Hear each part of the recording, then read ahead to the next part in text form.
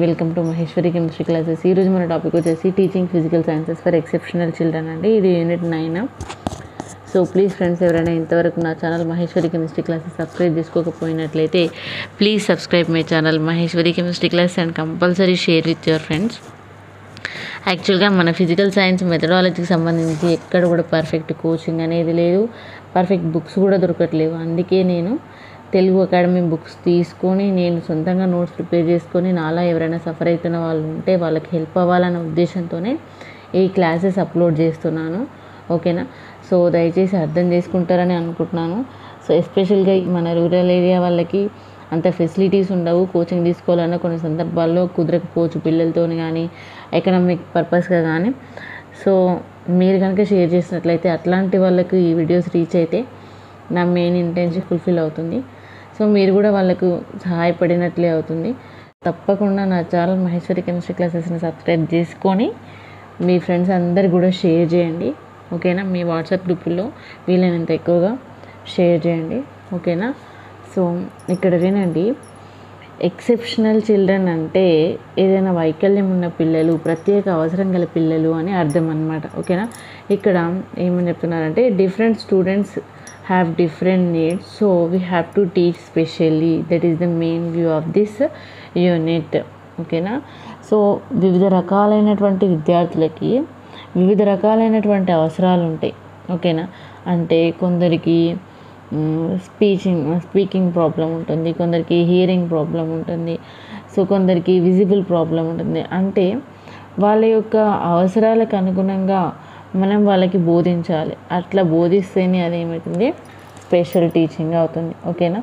So next వచ్చేస్తే according to RTE two thousand nine education for all is everybody's right ఈ RTE two thousand nine ప్రకారము ఈ విద్య అనేది ప్రతి ఒక్కరి యొక్క హక్కు. ఇది ఎక్కడ ఉందంటే ఆర్టికల్ ట్వంటీ వన్ ఏ అనమాట ఈ ఎక్కడ కాన్స్టిట్యూషన్లో కాన్స్టిట్యూషన్ అంటే ఏంటిది? రాజ్యాంగం. మన రాజ్యాంగంలో ఉన్నటువంటి ఆర్టికల్ ట్వంటీ వన్ ఏ ఏం సూచిస్తుందంటే విద్య అనేది అందరి యొక్క హక్కు. ఓకేనా?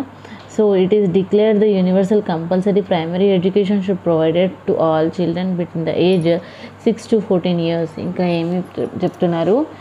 ఏజ్ గ్యాప్ ఎక్కడి నుంచి ఎక్కడి వరకు? Sixteen to sorry six to fourteen years పిల్లలందరికీ ప్రాథమిక విద్యను అందించాలి. ఓకేనా? According to which one RTE two thousand nine okay? So ఏం article article twenty one A age ఎంత? సిక్స్ టు ఫోర్టీన్ ఇయర్స్ ఏం ఏ విద్య ఇవ్వాలి? ప్రైమరీ ఎడ్యుకేషన్ ప్రాథమిక విద్య. ఓకేనా? సో నెక్స్ట్ వినండి. మనం ఇక్కడ ఎక్సెప్షనల్ చిల్డ్రన్ అన్నాం కదా అంటే వైకల్యం కలిగిన పిల్లలు లేదా ప్రత్యేక అవసరాలు కలిగిన పిల్లలు అనమాట మరి వాళ్ళను ఎట్లా గుర్తిస్తాము? Signs and symptoms of learning disabilities ఓకేనా వీళ్ళకి నేర్చుకోవడంలో ప్రాబ్లం ఉందని ఎట్లా గుర్తిస్తామంటే వీళ్ళకి త్రీ కేటగిరీస్ ఇచ్చారు ఏజ్ వైజ్గా ప్రీ స్కూల్ ఏజ్ అని ప్రైమరీ స్కూల్ ఏజ్ అని ఎలిమెంటరీ ఏజ్ అని ఇవ్వడం జరిగింది. ఇందులో pre school age three to five years primary school age five to nine years elementary age ten to thirteen years అనేది ఉంది. ఈ త్రీ టు ఫైవ్ ఇయర్స్లో ఏమేమి డిఫికల్టీస్ ఉంటాయంటే pronouncing words right word finding అంటే కరెక్ట్ పదం ఏంటో గుర్తుపట్టడము రైమింగ్ వర్డ్స్ గుర్తించలేకపోవడము మరియు కరెక్ట్ పదం ఏంటో గుర్తించలేకపోవడము ఆ పదాలని కరెక్ట్గా పలకలేకపోవడము ఆ పెన్ కానీ పెన్సిల్ కానీ ఎరేజర్ కానీ వాళ్ళకి ఇచ్చిన టాయ్స్ కానీ పట్టుకోలేకపోవడము ఇవన్నీ ప్రాబ్లమ్స్ ఉన్నాయి అంటే వాటిని ఈ లెర్నింగ్ డిజేబిలిటీకి ఒక సిమ్టమ్గా ఒక సైన్గా గుర్తిస్తారనమాట ఓకేనా?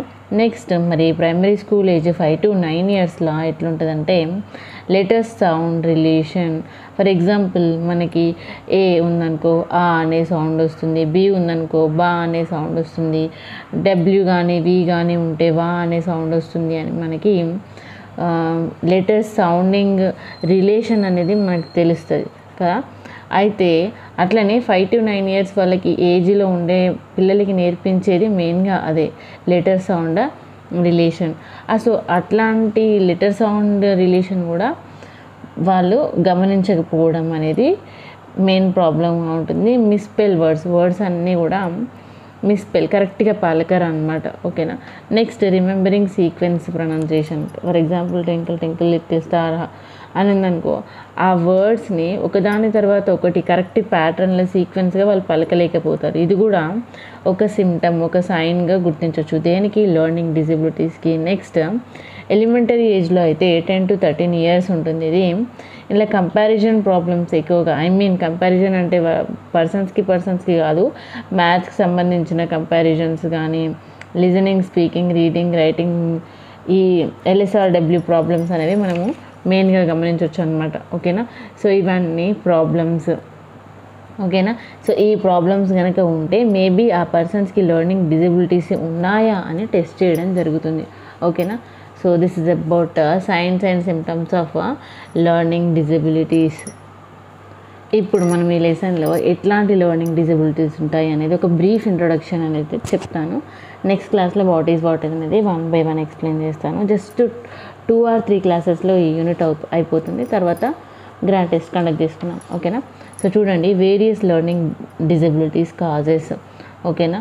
సో అక్కడ లెర్నింగ్ డిజబిలిటీస్లో మెయిన్గా listening speaking reading writing problems ఉండొచ్చును దానిలో ఏంటంటే మనకి మెయిన్గా ఫోర్ టైప్స్ ఉన్నాయి. స్పీచ్ లాంగ్వేజ్ డిజబిలిటీస్ అంటే పలకడం భాష పలకడంలో ప్రాబ్లం ఉంటుంది అనమాట రీడింగ్ డిజబిలిటీస్ అంటే చదవడంలో ప్రాబ్లం ఉంటుంది. రైటింగ్ డిజబిలిటీస్ అంటే రాయడంలో ప్రాబ్లం ఉంటుంది. ఓకేనా నెక్స్ట్ ఆర్థమెటిక్ డిజబిలిటీస్ అంటే ఇది మ్యాథ్స్కి సంబంధించింది. ఓకేనా సో ఇవన్నీ వేరియస్ డిఫికల్టీస్ ఇక్కడ వీటితో పాటు విజువల్ డిఫ్ డిఫికల్టీ కాన్సెప్ట్ అనేది ఉంది. అంటే దృష్టికి సంబంధించినటువంటి ఏమైనా ప్రాబ్లమ్స్ ఉన్నాయా? ఐ ప్రాబ్లం ఏమైనా ఉందా? విజన్ ప్రాబ్లం ఏమైనా ఉందా అనేది గమనిస్తారు. Next deaf or hearing impaired అంటే వాళ్ళకి వినడంలో ఏమైనా ప్రాబ్లం ఉందా? ఓకేనా సో ఐ మీన్ చెవి నిర్మాణంలో ఏమైనా ప్రాబ్లమ్స్ ఉన్నాయా అనేది గమనిస్తారనమాట ఓకేనా next orthopaedically disabled children. Orthopaedically అంటే ఈ ఎముకలకు సంబంధించినటువంటి ఎంపైర్డ్ అనమాట నెక్స్ట్ వచ్చేసి స్పెషల్ ఎడ్యుకేషన్ ఫెసిలిటీస్ మరి ఇట్లాంటి వాళ్ళకి స్పెషల్ ఎడ్యుకేషన్ ఫెసిలిటీస్ ఎట్లా ప్రొవైడ్ చేయాలి? అవి ఏంటి అనేది ఇక్కడ చూసుకున్నాం ఓకేనా approaches for teaching sciences to students with disabilities ఈ డిజబిలిటీస్ ఉన్న పిల్లలకి కొన్ని అప్రోచెస్ ఉన్నాయి. అందులో మెయిన్గా మనకి నైన్ టైప్స్ ఉన్నాయి. ఓకేనా? ఈ నైన్ టైప్స్ అయిపోతే మనకి చాప్టర్ అయిపోతుంది. అందులో ఏంటిదంటే యాక్టివిటీ ఓరియంటెడ్ అప్రోచ్ ఉందన్నమాట. అంటే ఈ యాక్టివిటీ చేసి చూపిస్తారనమాట ఓకేనా?